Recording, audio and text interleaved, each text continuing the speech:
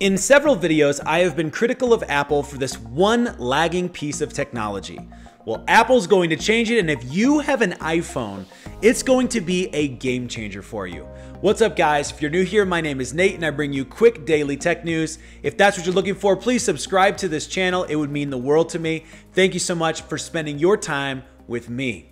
Well, Huge news dropped again recently. I even talked about it, uh, teased it, if you will, in another video, but we didn't get a chance to break it down. So I want to make sure we get a shot to break it down today. And that news is this. New leaks suggest that Apple's new Siri with generative AI will be announced at this year's WWDC. Some trusted sources have shared this news, and so I feel comfortable sharing it with you today uh, because I'm confident that it's a trusted source. Uh, firstly, my complaint has been, for those of you that have been on the channel long enough to hear me complain about this, that the way that the advanced AI has trained us and raised our expectations um, has affected the way that we use current technology like Siri. And when you use Siri on your normal everyday cell phone, your normal iPhone, um, Siri is not exactly something to write home about anymore. It may have felt really cool back in the day, but it's no longer living up to the expectations set by ChatGPT, uh, voice assistants, AI voice assistants, so many other uh, uh, pieces of AI technology that are exploding right now. Um, it's just not living up to the expectation anymore, and that le- puts us in a weird spot as Apple fanboys. If you're one, if you're one like me, at least, um, where I want to use Siri, I want Siri to read articles to me. But I got to be honest with you, every time I use Siri to read an article, it's painful. I don't love it. So I'm really excited to hear that uh, this news that we were all kind of expecting to happen at some point um, is actually. Uh, it's a rumor, but it's basically official that it is going that way. There have been several rumors that have led up to this one. So it's very exciting uh, to hear that Siri is going to get that generative AI uh, built in features, built in capabilities. So let's talk about what it actually entails. In the article, they discussed a few different things. Um, one being, of course, that generative AI is coming to Siri. Two being that conversational information will be retained across devices. So that's really cool. So right now, if you use use ChatGPT like I do on your phone and on your computer. Um, same thing with Claude or other ones because they're all in the cloud. Um, they are maintained across devices. That's really nice, and uh, we would expect nothing less from the Apple ecosystem. If it's going to be an ecosystem, it's got to act like one. And one of the things we love about Apple is the ecosystem. So um, I would expect that to be a, a, baseline expectation, but I'm glad to see that that's built in. Uh, so that just means for those of you that don't use any of those pieces of technology, that if you're talking to Siri about uh, and having a conversation over here on your cell phone, that you would be able to access that iPhone conversation on your Mac or other devices. Um, that's huge. The other big piece is that there's supposed to be some new Apple specific creational uh, services that will be built in. So I'm assuming that's talking about things like image generation, maybe audio generation or something like that. Um, I don't know for sure what that is, but that's that's what makes the most sense to me. If you know, because some of you are geniuses, then comment below what you uh, know it to be. Um, but that's my best guess at this point of what that must mean. Um, and it seems to be in line with all of the multimodal um, uh, generative AI programs and softwares that are that are being built right now from ChatGPT to Google Bard, etc., or Google Gemini, excuse me.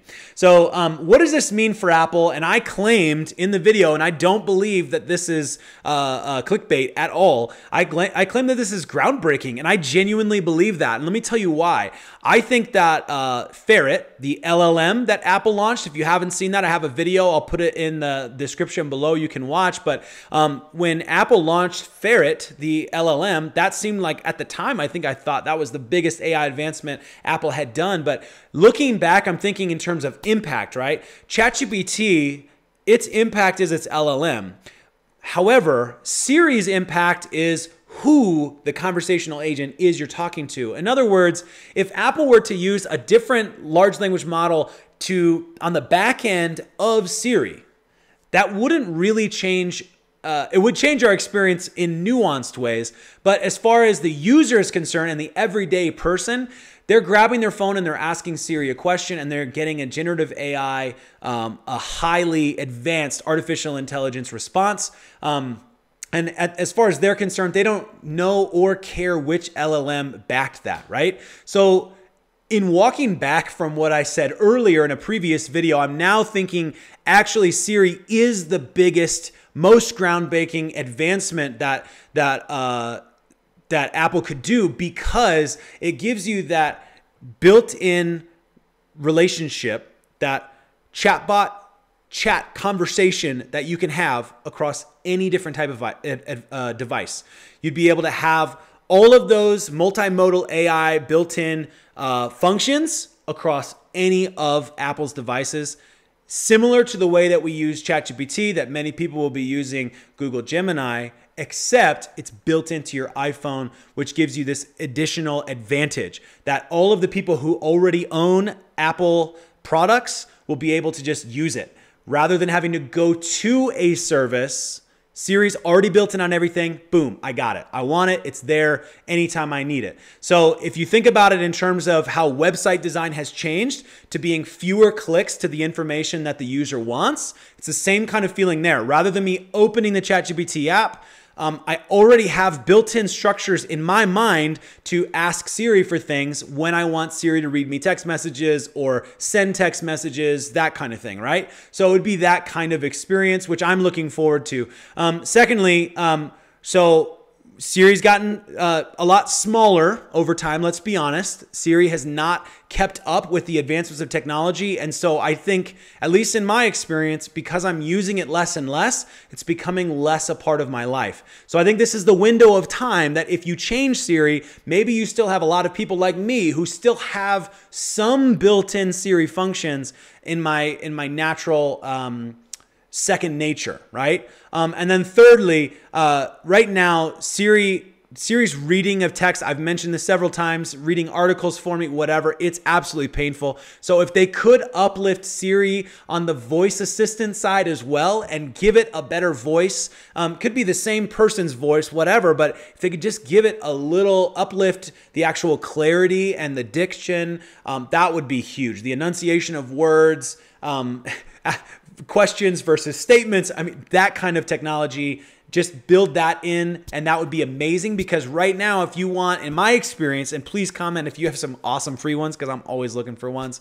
But if uh, if you want a, a good uh, AI chatbot to read your text for you, like Speechify or those types of, of AI products, you have to pay for the good ones. That's the reality.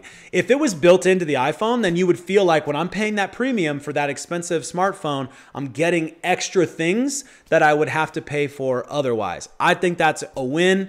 And if you were around when Whisper came out from OpenAI, when OpenAI released Whisper, I was teaching an AI class at the time, and it was like, mind blowing. So I'm just thinking, man, there the tech is out there. There's no reason why Apple couldn't, if they wanted to, um, build Siri up in its actual conversational sound quality and in all of the um, enunciation, pronunciation, etc. So that's what I think about the generative AI capabilities being brought into Siri. What do you think? Let me know in the comments what you're excited about. Um, maybe if there's some things, some other AI apps that you're using that you don't think you need Siri to have these features because you prefer these other ones anyways. Like for example, I like to use Claude for PDFs. I've tried ChatGPT every single time. I've done the plugins when that was new. Um, I, I use even the current ChatGPT Plus right now, and I still prefer Claude for talking back and forth about PDFs. That's just my experience. So maybe you have some apps out there that you are a big fan of that you feel like, hey man, if Siri could do that, that'd be awesome. Or if Siri does that, I don't care. I'm not going to drop this one. This one's just too good. Let me know in the comments below. I look forward to joining you in the conversation. Think different, stay crazy.